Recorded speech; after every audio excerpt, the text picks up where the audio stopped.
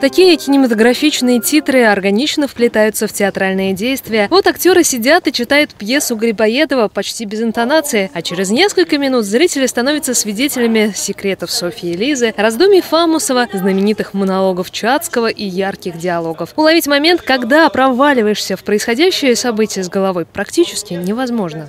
Зачем же так секретно? В мои лета не должен сметь свое суждение.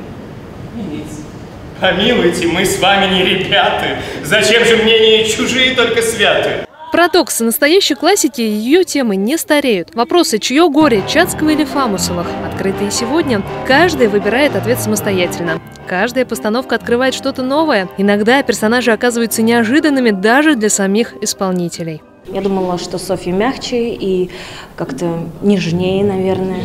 А в данном случае, ну, как бы, как поставил режиссер передо мной задачу, что она знает себе цену, она очень э, строга, и она в конце концов ненавидит просто Чацкого.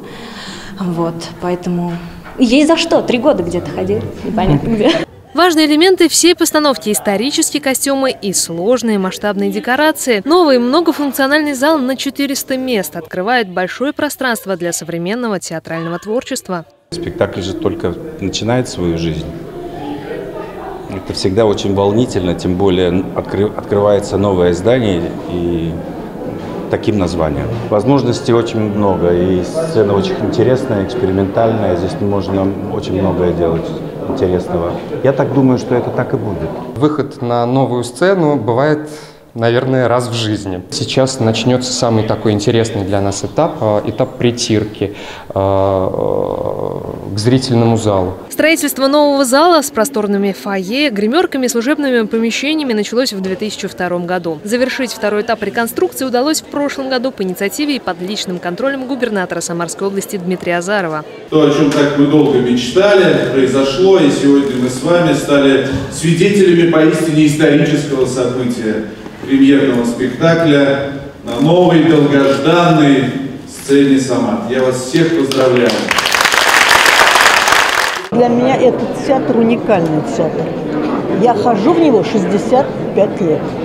Когда еще он был в Старом Тюзе, зал великолепный. Ну, во-первых, я до этого была здесь на экскурсии зал «Трансформер». Я считаю, что это один из лучших залов в России. Новые технологии все равно играют достаточно большую роль.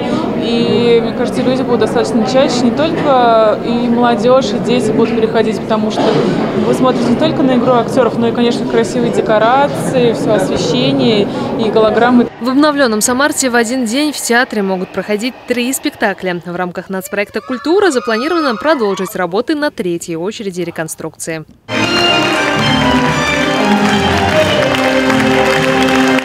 Анастасия Зубарева, Тимур Набиев. Новости губернии.